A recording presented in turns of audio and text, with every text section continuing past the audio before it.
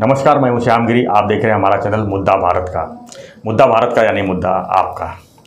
आज हम हमारे साथ स्टूडियो में मेहमान हैं। मनोज सिंधे जी जो कांग्रेस के वरिष्ठ नेता हैं महाराष्ट्र प्रदेश सचिव हैं। इनसे हम जानेंगे इनके करीबी जो हैं मुख्यमंत्री जो बने हुए हैं एक नाथ सिंधे जी उनके बारे में थोड़ा चर्चा करेंगे। मनोज सिंधे जी आपका हमारे चैनल में स्वागत है। नमस्कार। और हम आपसे चर्चा करेंगे जो एक नाथ शिंदे जी जो अभी मुख्यमंत्री बने हैं जो आपके मित्र भी हैं और विरोधी भी हैं। मित्र इसलिए कह रहा हूँ कि आपके पड़ोसी हैं आपके साथ में साथ राजनीतिक सफ़र में भी आपके साथ में रहे हैं नगर सेवक में भी आपके साथ में रहे हैं। और विरोधी इसलिए बोल रहा हूँ कि आप उनके खिलाफ चुनाव भी लड़े हैं विधानसभा के चुनाव लड़े हैं। तो उनके बारे में क्या कहेंगे जो अचानक उनको मुख्यमंत्री पद दिया गया और जैसे अचानक लोगों को खबर लगी? श्यामगिरी जी सबसे पहले अभी जो जिस तरीके से राजनीति चल रही है जी। महाराष्ट्र में एक नेक्स्ट लेवल की राजनीति एक अलग तरह की, की अलग संस्कार की राजनीति आपने जो देखी है उस तरह की का जी राजनीति देखते हुए मैं एक कहूँगा कि राजनीति में कोई दोस्त भी नहीं होता है दुश्मन भी नहीं होता है। तो ये सबसे पहला मैं स्पष्ट करना चाहता हूँ। अभी है एक नाथ जी मुख्यमंत्री बने उनको मेरी तरफ़ से शुभकामनाएँ अब उनको पूरा महाराष्ट्र राज्य की है। अच्छा सेवा करना है। महाराष्ट्र की समस्याओं का निवारण करना है। महाराष्ट्र में कुछ अच्छी चीज़ों चीज़ों को लाकर लोगों के लोगों के प्रति एक महाराष्ट्री महाराष्ट्र में महाराष्ट्रीयन लोगों को न्याय देने की उसको कोशिश करनी है। और उनके लिए एक दोस्त की ऐसी से मैं उनको एक हम सफ़र पॉलिटिकल एक राजनीतिक हम सफ़र दोस्त जो मेरे राजनीति में हम सफ़र रहे हुए, उनको मैं शुभकामनाएँ देता हूँ और वो बिल्कुल अच्छी तरह से मिली हुई जवाबदारी जो मिली है मिली है, किस तरह से मिली है, उसके ऊपर चर्चा करना आज इम्पोर्टेंट नहीं है लग रहा है, मैं उनको शुभकामना देता हूँ। अच्छी तरह से निभाओ, या इसके लिए हम बिल्कुल साथ रहेंगे। मनोज जी, एक बात बताइए कि आपके साथ में जैसे बताया कि हम सफ़र राजनीति हैं और इस तरह से जो आपके साथ में एक तरह से कार्यकर्ता फिर नगर सेवक फिर एमएलए बने आप भी उनके साथ में चुनाव लड़े साथ में। और अभी मुख्यमंत्री बने आपको कैसा लग रहा है इस घटना पर श्यामगिरी जी क्या होता है कि राजनीति में कोई एक निष्ठ होता है किसका उद्देश्य कुछ और होता है? मेरा उद्देश्य एक निष्ठ का है। आपने देखा होगा ये सब कुछ मुझे शायद जमा नहीं होगा। ये सब करने के लिए जमा नहीं होगा। और इसका ये फल हो गया, उसके लिए मुझे कोई यही नहीं है। आज मैं मेरे पार्टी के प्रति एक निष्ठ हूँ, इसके यही चीज़ मेरे लिए इम्पोर्टेंट है। अगर मैं चाहता तो आज तक तो यही चीज़ को मैं बताना चाहूँगा कि आज तक तो मैं एक निष्ठ हूँ और मुझे इस बात की खुशी भी है।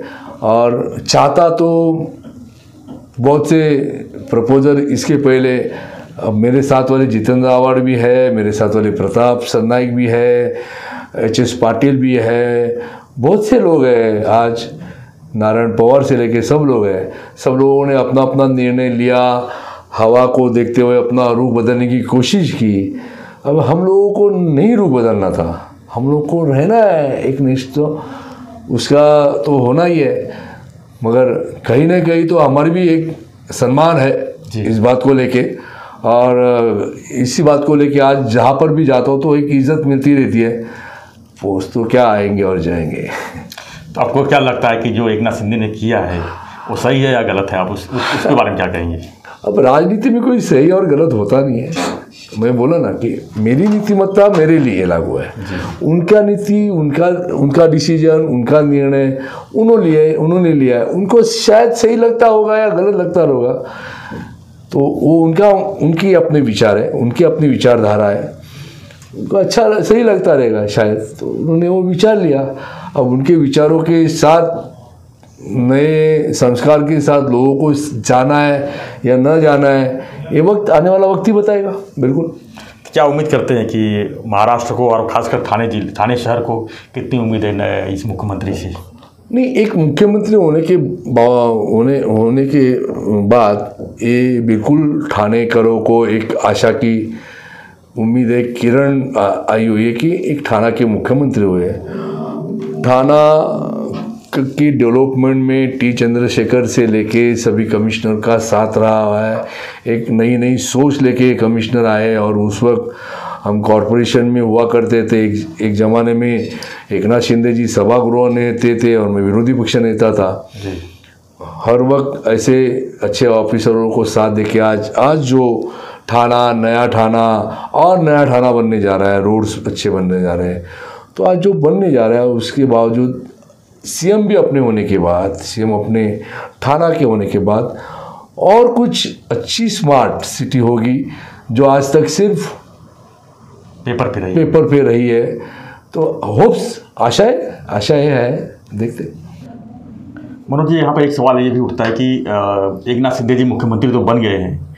आज उनको उद्धव ठाकरे जी ने अपने पार्टी से भी निष्कासित करने का फैसला ले लिया है या निकाल भी दिया है। तो क्या लगता है भाई इनको नया झंडा किस तरह का रहेगा उनका? एक बात जान आपको बताना चाहता हूँ। मैं भी हमारे स्टूडेंट यूनियन से भी राजनीति में कॉलेज से रहा हूँ। कॉलेज अवस्था से रहा हूँ। तो आज के इतने प्रवास में मैं एक बता सकता हूँ कि एक नाथ सीएम तो बन गए मगर झंडा तो उनको किसी भी हालत में शिवसेना का नहीं मिलेगा। उनको ना उनको धनुष्यबाण मिलेगा ना उनका बोध चिन्ह वहाँ भी मिलेगा भी नहीं मिलेगा। क्योंकि आज लोगों को इस बात के लिए कंफ्यूजन है जो मुझे भी है मुख्यमंत्री बनना उसके लिए हमारे पास जो एमएलए है, वो संख्या करके वो बता सकते हैं। मगर पार्टी के लिए ये सवाल बहुत पहले आया था, जब आपको पता है।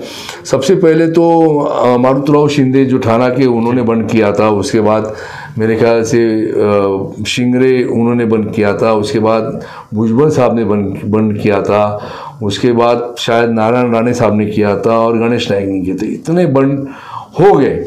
इतने होने के बाद यही हो गया था कि हम्म, शायद शिवसेना शिवसेना ही उनके हाथ में जाएगी उनका चिन्ह जाएगा। मगर जो कॉन्स्टिट्यूंशियल है जो कायदा नियम संगठन का बना हुआ है वो हिसाब से उद्धव ठाकरे साहब ही वहाँ पर अध्यक्ष करके रहेंगे। और वो पार्टी में किसको निकालना है पार्टी में किसको लेना है उसका अंतिम निर्णय उनके पास ही रहेगा। करके तो ये बात को भूल जाओ कि वहाँ पर आज के लोगों की जो चर्चा चल रही है कि शिवसैनिक भी कंफ्यूज है कि हाँ, हम शिवसेना शिवसेना भी- शिवसेना में हैं कि कहीं और चले गए शिवसेना को हैं? कन्फ्युजन है। आता कोणता झेंडा घेऊ हाती ऐसा प्रकार का एक बड़ा क्वेश्चन मार्क है। जी। हम लोग तो संगठना के लोग हैं। संगठना को ज़्यादा महत्व देते हैं। बाकी पदों को ज़्यादा महत्व देते नहीं है। Organisation is important for me so अभी आगे पता नहीं अब क्या होगा। इस चीज़ को कैसे हैंडल करेंगे एक नाथ- जी जी का एक नाथ शिंदे साहब इतना आसान नहीं है। एक नाथ शिंदे साहब कैसे हैंडल करेंगे? आई डोंट नो क्योंकि आज तक का तो इतिहास रहा है कि जो पार्टी से गया है पार्टी से चला गया है। तो शिंदे साहब एक इसमें सवाल और उठता है राज्यपाल के ऊपर। जिस तरह से महाराष्ट्र में राज्यपाल ने अपनी भूमिका निभाई है क्या सही है या आप उसको कुछ अलग तरीके से देखते हैं? ये मुझे डाउट जो आ रहा है ये राज्यपाल है क्या भाजपाल है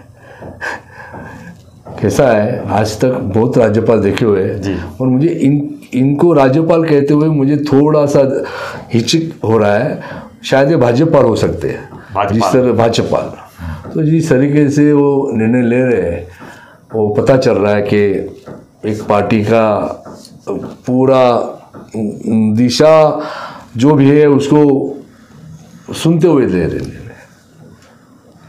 निष्पक्ष होना चाहिए। धन्यवाद मनोज जी आप हमारे चैनल में आए और मुख्यमंत्री एक नाथ शिंदे जी के बारे में चर्चा की। तो आपको हमारा वीडियो कैसा लगा हमें ज़रूर बताएँ कमेंट बॉक्स में लिखें और पसंद आई हो तो लाइक शेयर और सब्सक्राइब करना ना भूलें। धन्यवाद।